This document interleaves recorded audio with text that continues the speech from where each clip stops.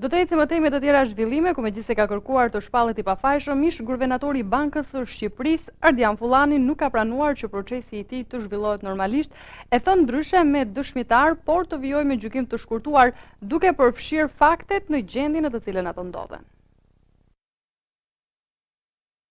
Megjithëse kërkoi të shpallet i pafajshëm ish-guvernatori i Bankës së Shqipërisë, Ardian Fullani nuk ka pranuar që procesi ndaj tij, Të zhvillohet normalisht e thënë ndryshe me dëshmitarë, por të vijojë me gjykim të shkurtuar duke pranuar faktet në gjendjen që janë.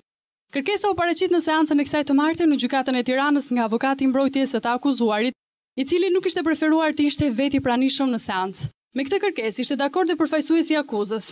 Në këto kushte, edhe gjyqtari i çështjes, Artan Gjermeni, vendosi ta pranojë kërkesën, duke caktuar datën gjashtë tetor për të dëgjuar konkluzionet e akuzës dhe të ish-mbrojtjes. Ish-guvernatori i Bankës së Shqipërisë, Ardian Fullani u akuzua për vjedhjen e shtatëqind e trembëdhjetë milionë lekëve nga thesari i Bankës së Shqipërisë. Për këtë ngjarje u akuzuan tetëmbëdhjetë persona, ish-punonjës të Bankës së Shqipërisë, të cilët kërkuan gjykim të shkurtuar përveç kryeinspektores së Bankës, Elvira Golemi, procesi ndaj të cilës vazhdon ende.